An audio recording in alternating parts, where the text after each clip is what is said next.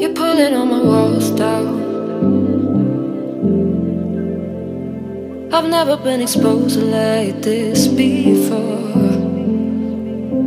I'm good at shutting you out. Elvana is an Albanian singer, songwriter and entrepreneur.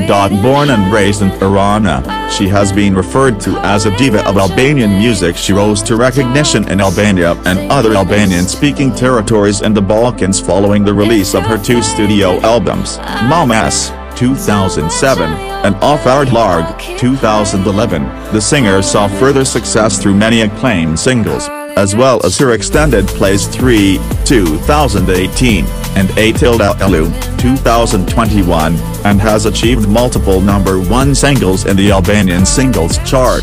Gjata has also received numerous